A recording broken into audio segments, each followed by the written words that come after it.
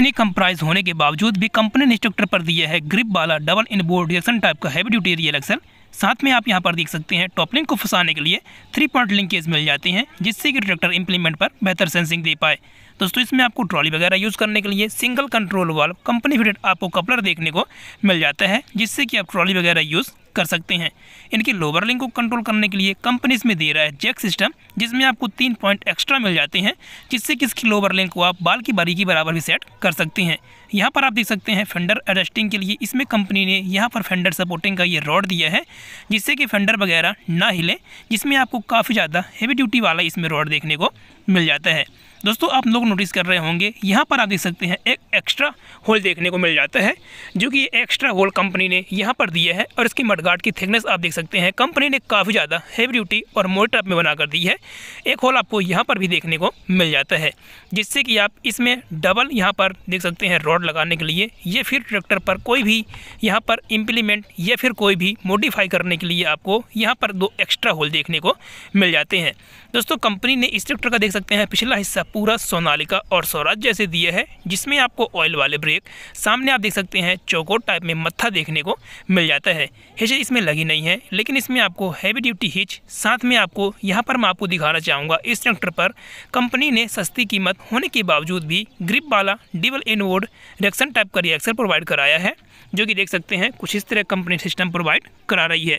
दोस्तों, इसमें अगर बात की जाए लिफ्टिंग कैपेसिटी की तो इस ट्रैक्टर पर कंपनी ने दिया है 1800 किलोग्राम की भारी भरकम लिफ्टिंग कैपेसिटी जिससे कि इस मीडियम ट्रैक्टर पर आप कोई भी लिफ्टिंग कैपेसिटी वाला काम बड़े ही आसानी से यूज़ कर सकते हैं। आपका ट्रैक्टर बेहतर परफॉर्मेंस देने वाला है। यहाँ पर देख सकते हैं, पिछला व्यू कुछ इस तरह का मिल जाता है, जिसमें कंपनी दे रही है चारों tyre M R F company के, जो कि देख सकते हैं ट्रस्टेड कंपनी के इसमें टायर देखने को मिल जाते हैं। चलिए बात कर लेते हैं टायर साइज़ की तो इस ट्रैक्टर पर आपको एम आर एफ़ का टायर देखने को मिल जाता है। वहीं अगर बात की जाए इसके टायर साइज़ की तो इसमें आपको तेरह छः अट्ठाईस का टायर साइज़ देखने को मिलने वाला है। दोस्तों, इस ट्रैक्टर को लॉन्च किया गया है तीन सिलेंडर इंजन के साथ में, जिसमें आपको इंजन दिखाना चाहूँगा। सबसे पहले टायर की बात कर लेते हैं।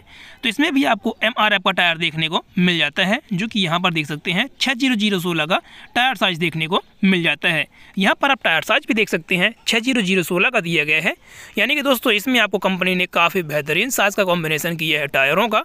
चलिए बात कर लेते हैं इस ट्रैक्टर के इंजन की। तो यहाँ पर आप देख सकते हैं अल्टरनेटर देखने को मिलने वाला है। साथ में कंपनी इसमें दे रहा है डिवल टेंडम पंप जो कि एक हाइड्रोलिक के लिए। साथ में आपको एक सेंसिंग के लिए मिल जाता है। लेकिन जिसका हम रिव्यू कर रहे हैं, ये ट्रैक्टर सादा स्टेयरिंग में है, जिसके चलते कंपनी इसमें खाली हाइड्रोलिक के लिए दे रही है। तो यहाँ पर देख सकते हैं हाइड्रोलिक का जो फ़िल्टर है आपको, काफ़ी बड़ा और मोटा टाइप में देखने को मिल जाता है। हाइड्रोलिक फ़िल्टर आपको दो प्रकार के देखने को मिलने वाले हैं। एक तो आपको यहाँ पर मिल जाता है। एक वीडियो पर आगे आपको दिखाऊँगा, जो कि सीट के पीछे माउंट किया गया है। यहाँ पर देख सकते हैं, बारह बोल्ट, ढाई किलो वाट की दमदार सेल्फ मोटर देखने को मिल जाती है, जो कि इस तरह की सेल्फ मोटर यहाँ पर माउंट की गई है। दोस्तों, मैं आपको यहाँ पर दिखाना चाहूँगा। देख सकते हैं, ब्रेक के जो पेडल आपको मिलने वाले हैं, कंपनी ने नॉर्मल टाइप का पेडल नहीं दिया है, काफ़ी ज़्यादा हैवी ड्यूटी टाइप में आपको मिल जाता है, जिसमें आपको ऑयल वाले पेडल देखने को मिल जाते हैं।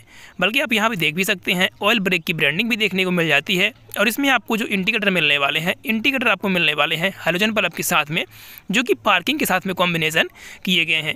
दोस्तों ट्रैक्टर का पूरा लुक देख सकती हैं। ये है करतार की तरफ़ से रिसेंटली लॉन्च किया गया करतार चालीस छत्तीस इस ट्रैक्टर को लॉन्च किया गया है चालीस एच कैटेगरी के अंदर, जिसमें देख सकते हैं ट्रैक्टर का पूरा लुक कुछ इस तरह का मिल जाता है। दोस्तों, हमारे व्यूवर्स दीपक सिंह मार्कोस जी ने हमें कॉमेंट किया था इस ट्रैक्टर का रिव्यू करने के लिए। तो यह वीडियो स्पेशल उन्हीं के कमेंट के आधार पर अपलोड किया गया है।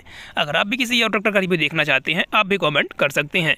दोस्तों, यहाँ पर आप देख सकते हैं करतार चालीस छत्तीस की ब्रांडिंग आपको यहाँ पर कुछ इस तरह की देखने को मिल जाती है, जो कि करतार तो आपको थ्री में क्रोम फनिस के साथ में मिलने वाला है। बाकी आपको चालीस छत्तीस की जो ब्रांडिंग है स्टीकर में ही नॉर्मल टाइप का स्टीकर यूज़ किया गया है। चलिए दोस्तों, बात कर लेते हैं इस ट्रैक्टर की इंजन की। तो सबसे पहले इस ट्रैक्टर पर जो आपको स्पेशल फीचर्स मिलने वाला है ड्राई टाइप का डुअल एलिमेंट वाला एयर फ़िल्टर मिलने वाला है, जिसमें आपको चोक सिस्टम भी देखने को मिल जाता है।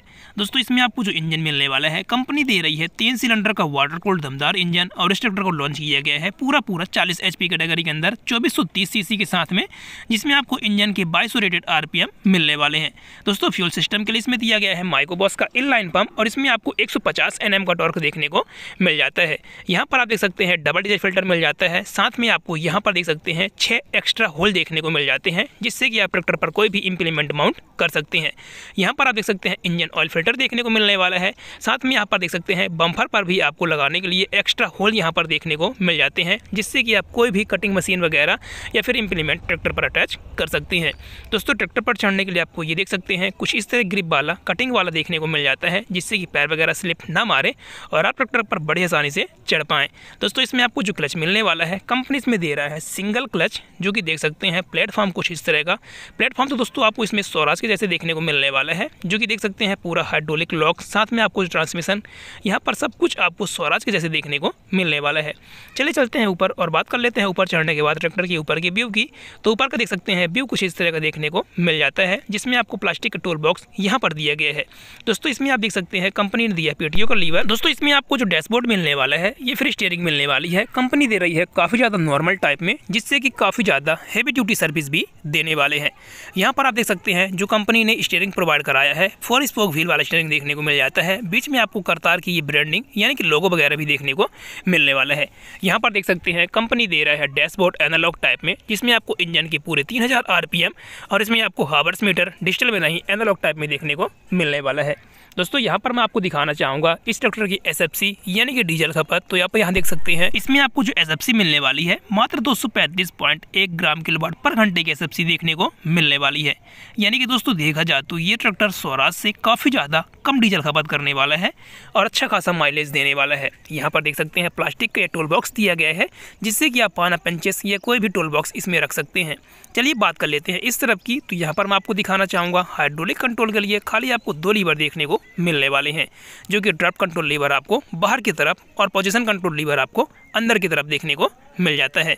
चलिए बात कर लेते हैं इस ट्रैक्टर के सामने के व्यू की। साथ ही जानेंगे ब्रेक क्लच साथ में आपको ट्रांसमिशन यहाँ पर देख सकते हैं, इस ट्रैक्टर पर आपको जो ट्रांसमिशन मिलने वाले हैं, कंपनी दे रही है सेंटर शिफ्ट गियर बॉक्स जिसमें आपको फुल पार्टियल कॉन्स्टेंट मेस, आठ प्लस दो का गियर बॉक्स देखने को मिल जाता है। यहाँ पर देख सकते हैं जो लंबा वाला लीवर आपको मिलने वाला है, वन, टू, थ्री, फोर वाला लीवर देखने को मिल जाता है, और उसी के नीचे आप देख सकते हैं, यहाँ पर आपको हाई और लो गियर देखने को मिल जाता है। ऑयल वाले ब्रेक दिए गए हैं। साथ में दोस्तों, यहाँ पर मैं आपको दिखाना चाहूँगा तो देख सकते हैं, इसमें आपको लाइट के कंट्रोल, साथ में आपको स्टॉपर, स्विच वगैरह सब कुछ यहाँ पर देखने को मिल जाता है। दोस्तों, इसमें आपको जो क्लच का पेडल मिलने वाला है कंपनी दे रहा है नॉर्मल टाइप का, जिसमें आपको सिंगल क्लच देखने को मिलने वाला है। अब दोस्तों सिंगल क्लच का मतलब ये रहता है, उसी में आपको एक क्लच प्लेट साथ में आपको एक प्रेशर प्लेट रहती है, यानी कि उसमें आपको सब कुछ सिंगल सिंगल दिया हुआ रहता है। चलिए दोस्तों, बात कर लेते हैं इस ट्रैक्टर के पूरे लुक की। दोस्तों, ये था करतार की तरफ़ से रिसेंटली लॉन्च किया गया 40 एच में सस्ती कीमत के साथ लेटेस्ट 2024 मॉडल दोस्तों, अगर बात की जाए इस ट्रैक्टर की प्राइस की तो ये ट्रैक्टर आपको छः लाख चालीस हज़ार के आसपास मिलने वाला है। और ये प्राइस आपके स्टेट के हिसाब से कम या फिर ज़्यादा भी हो सकती है। डिपेंड करता है आप कौन सा मॉडल और किस स्टेट से ले रहे हैं। तो ऐसा करता हूँ दोस्तों वीडियो पसंद आया होगा। अगर वीडियो अच्छा लगे तो वीडियो को लाइक और चैनल सब्सक्राइब करना ना भूलें। इसी तरह के नए नए वीडियोस देखने के लिए। तो मिलते हैं दोस्तों अगली वीडियो में। अगली जानकारी के साथ।